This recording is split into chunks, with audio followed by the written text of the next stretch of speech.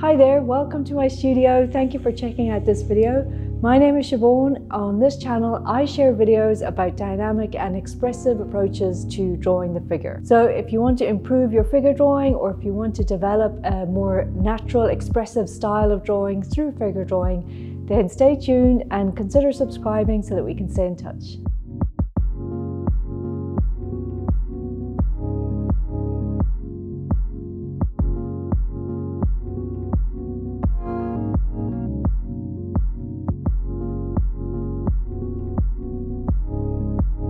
Today, I wanted to share my process for drawing a couple of two minute gesture drawings. These are very short poses. Um, you might be familiar with these kinds of poses at the start of a live drawing session, but I thought it would be interesting to share the process with you, especially if you're working at home in your sketchbook and doing figure drawing on your own. I want to give you three tips that I think are really important to think about or to try and achieve in your gesture drawings. So what I'm going to do is show the reference image and the timer and try to break down the way that I capture the pose in as short a time frame as one minute or two minutes. If you don't know what the reason is behind doing these very short poses, then I have another video that explains in much more detail why we work with such short time limits and what the point is really of doing drawings like this. So I'll share that link and you can check that video out if you want some more information. But as I said in this video, I want to go over three tips that I think are most important to try and think about or to keep in mind. So here's the video. I hope you enjoy it. I'll check back in with you at the end. Both of these poses are taken from lineofaction.com. So go and check that website out. It's a great online resource for figure, for figure drawing students. Tons of poses to draw, I will say I usually spend a lot of time at the start of any drawing session, like flipping through the images to try and find a good pose to draw. My first tip when you're doing gesture drawing is to try as quickly as possible to get the whole pose down in one go on your page.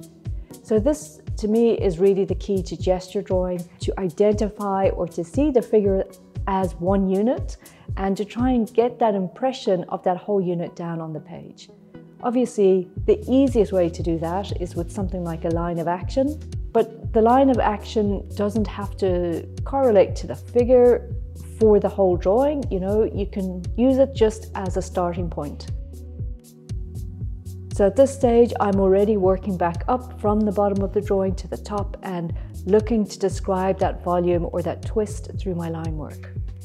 I often use a circular motion in my line work or round circular marks to also try and describe the whole pose. My second tip is that another good thing to do, which I always try and encourage people, is to draw through the forms and to avoid drawing the outlines or avoid drawing the figure as a silhouette. A lot of times beginner drawing students will use a gesture line but use it just to draw what they see as the outline. And I recommend that you try and follow lines that go through the body, as well as lines that go around the edges. When you're drawing lines that go through, you can obviously sometimes see skeletal shapes or muscle shapes, but you can also draw the direction of like the arms or the legs. You know, that's another good way to draw through lines. That goes a long way to describing weight and uh, volume as well.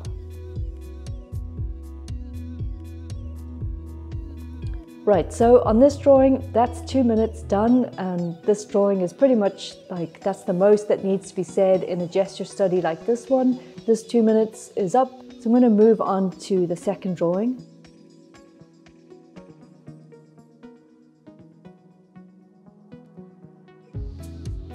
And my third tip is to remember that for short gesture poses, try to think of this way of drawing as capturing movement. The body is built for movement, built for motion, and really, if you think about it, every part of the figure connects into the whole with the purpose of moving. So if you can capture movement through your line work, I think you can go, that goes a long way to adding life and energy to your drawing instead of just making it like a static rendering or a flat image. So think about movement in your lines. Even if the model is static or the pose or reference image that you're looking at obviously is not moving, especially if it's a photo, you can still spot tension and balance and dynamic qualities like that. And these all point towards the way that forms are built to move. So trying to understand that movement through the figure, through your line work, is key to gesture drawing. Another thing to point out is that I normally don't set the timer for myself, but I think it is quite a good idea every now and again to put a time limit on your drawing, especially if you're practicing gesture drawing, because gesture is all about an economical, direct response to what you see. Um, putting a time limit on it can really help you to, you know, hone that response or hone that expression.